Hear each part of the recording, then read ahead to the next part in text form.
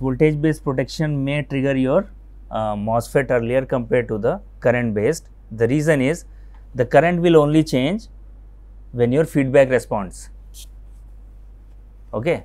So, when you start drawing uh, the load current, what will happen? So, if this is a load,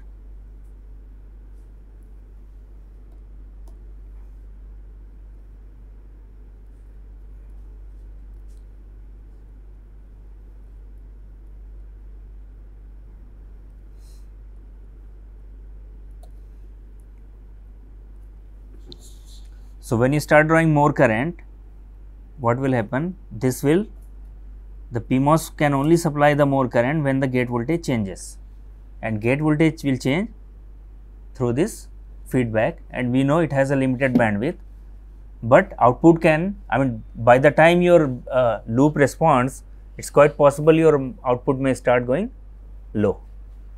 Okay. So, if you all of a sudden you make your let us say uh, current from 1 milliamp to 10 milliamp or 20 milliamp whatever. If you connect to the ground literally connect to the ground then you know output is in any case going low. So, this uh, comparator will trigger immediately okay, irrespective of uh, whether your current changes or not.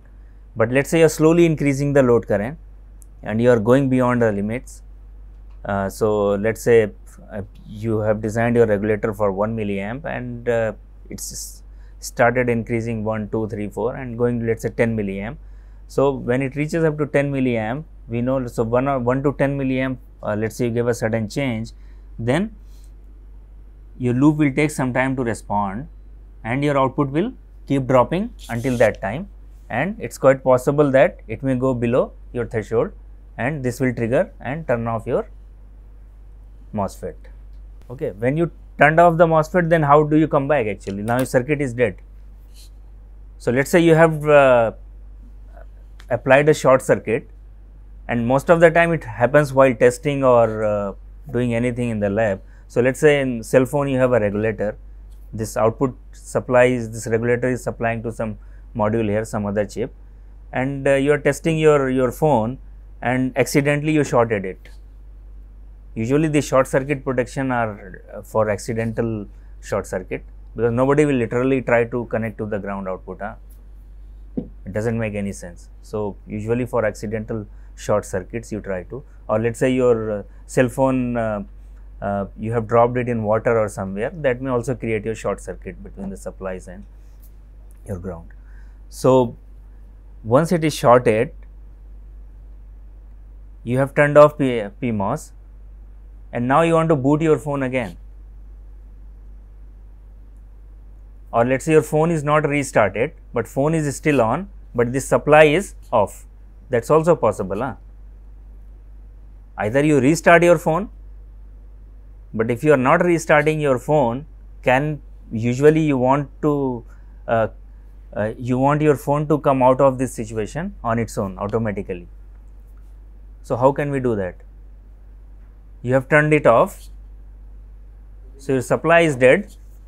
Now, you want to again activate the supply. So, what do you do actually? You reset this. So, basically you make this VSC again high and activate this regulator again and then again the same process will start. If short circuit has been removed, so let us say it is what an accidental short circuit. I mean let us say you are doing something let us say you had a screwdriver and the screwdriver uh, basically caused a short circuit between output and ground. But when you remove the screwdriver the short circuit went away. So, then what will happen uh, you turn on again this regulator by turning off this uh, or pulling this gate to. So, you do it periodically there is some uh, state machine required for that so, what you do you take the output pass it through some state machine which will periodically keep doing what will happen when it whenever it goes low it will immediately pull it to low and after some time you count let us say few cycles. So, let us say every 1 second or so or half a second uh, usually if it is a man made uh, short circuit then you know we cannot uh, respond in 1 or 2 milliseconds huh? it may take at least 100 milliseconds or so. So, let us say every 100 millisecond you again reset this output, make it high and your regulator will start automatically. So, if there there is a short circuit your output will not go to will not increase it will stuck to 0 then again short circuit will trigger okay, and it will again turn off. So, it will keep doing that until that is removed. So, let us say short circuit is removed then when the regulator is started it will settle to its desired output. So, automatically it will come out of that short circuit. So, this is periodically done in the state machine and that is called something uh, the name for that is hiccup mode actually because you periodically keep doing you remove that uh, uh, basically this FET uh, because this is turning off this by pulling it high. So, what you do you turn off this periodically and check whether short circuit has been removed or not. If it has been removed, otherwise if you do not do this then you will have to hard start or hard reboot your cell phone or any other device whether it is a laptop or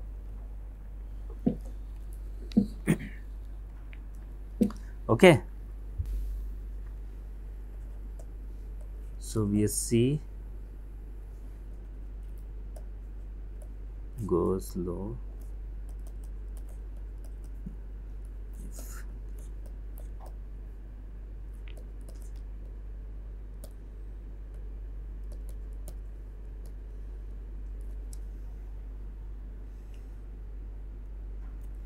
so let's say I call it MP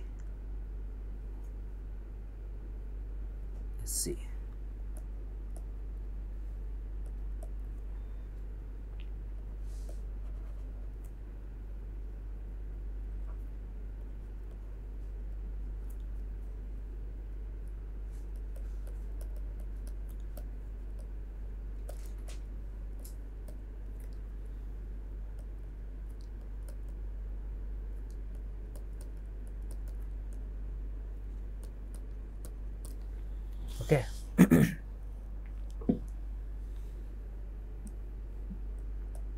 This is periodically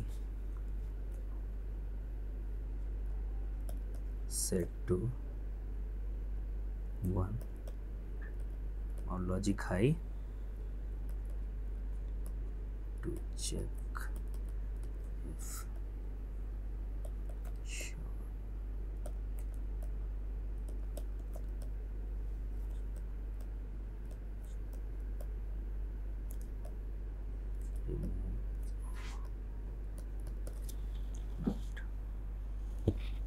okay. Clear? So and there is something called foldback current limit.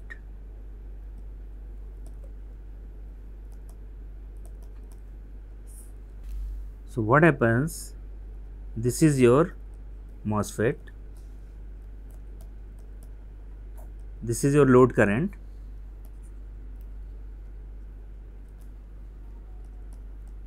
VDD and this is your V out. So, what is the power dissipation in this device? Power dissipated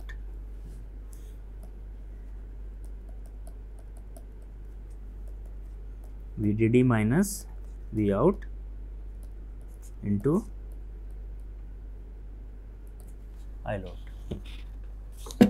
okay. So, let us say you have short circuited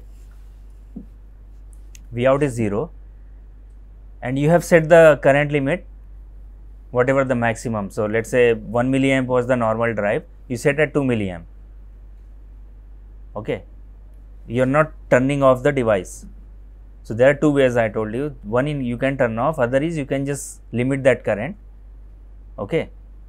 So, limiting the current means you somehow pull, this gate.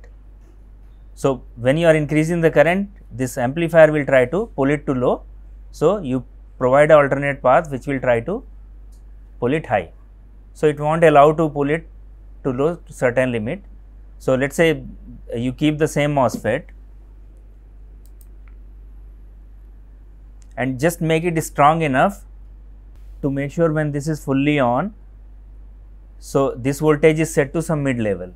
If you make it too strong, then I mean this this has some current capability, yeah? it can sink. So, let us say it, it can sink maximum 10 microamp of the current and if this device can also supply 10 microamp of the current, so your voltage will be somewhere in the mid. Okay, but if you make it to have a 100 microamp current, then this will completely pull it to VDD. But so and if this strength of this device is less than 10 microamp, then this can pull it to towards the ground. Okay, so let's say this is 10 times weaker than your 10 microamp. So that's how you make it uh, strong enough that it should not completely turn it off, but make this weaker. So, you can limit the current. So, that is another way of doing current limit. So, in that case you do not turn off the device, but just make your MOSFET gate high enough so that it cannot supply more than that current. So, so let us say I have said that and maximum it can supply 2 milliamp current after 2 milliamp I activate this and it will try to basically reduce the VGS of this so that it cannot uh, derive uh, basically it cannot supply higher current. So, but let us say you have a short circuit. So, with a short circuit what you are trying? You are trying to limit the MOSFET current to 2 milliamp or so, but what happened to the VDS? VDS is increased here. Huh? So, what will happen to the power dissipation? So, let us say in the normal condition your VDS was 100 milliamp, 1 milliamp. So, what is your power dissipation in that case? 100 milliamp and 1 milliamp is the current. So, 100 milliamp multiplied by 1 milliamp. Sorry, 100 millivolt multiplied by so 0.1 milliwatt and that is how you will size it. Huh? So, you will size this transistor to basically deliver that much power. But now all of a sudden you have grounded it and the power dissipation has increased to 10 times, correct? Or even more than 10 times if this VDD is 1.8 volt. So 1.8 volt and this is ground, your current is now 2x. So 1.8 multiplied by 2, so uh, almost like 3.6 milliwatt or so, correct? I mean it is a milliwatt do not think that milliwatt is too low because these devices are sized to carry for I mean the way you have sized the devices the milliwatt is much higher watt for them. Okay. So, it depends on how you have sized it. So, you do not want this MOSFET to dissipate more power. So, one reason is obviously that uh, any dissipated power will convert to heat and that heat high temperature may melt your traces or it may damage the device. So, that is the one reason. Other reason is let us say even if the device is not damaged, you are drawing lot of power from the battery yeah, unnecessary. So, your battery will drain in that case quicker. So, you do not want that situation to happen. So, what do you do if I want to maintain this uh, power dissipation then what I can do? I do not have any control on the dropout because this is shorted to ground. So, only control I have to the current. So, instead of limiting the current at 2 milliamp, now I will start reducing the current actually, so that I can maintain the power dissipated and that is what we call foldback actually.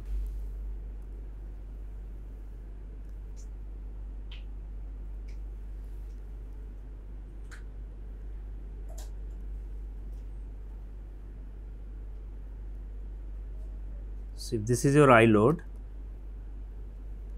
okay, and that is what happens.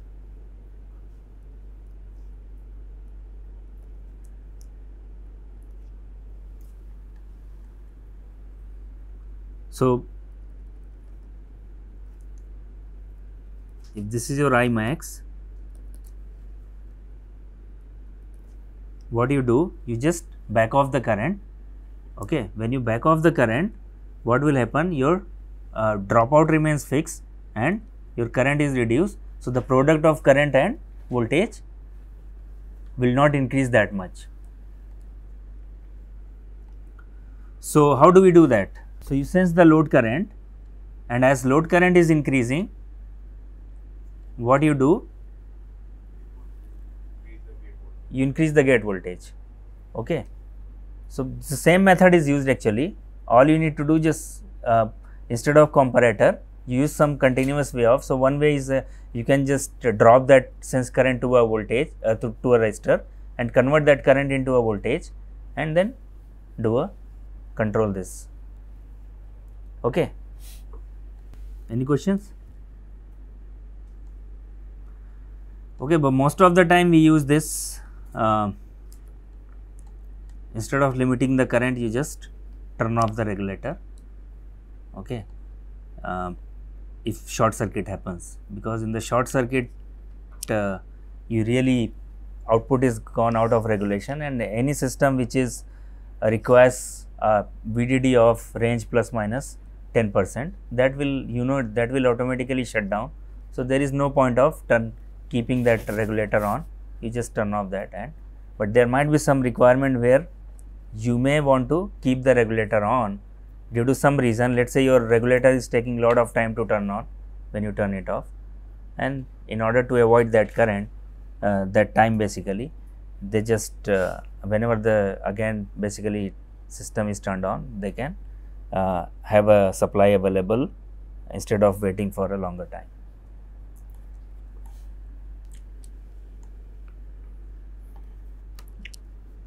But in switching regulators we used both actually we used current limit as well as uh, the short circuit protection.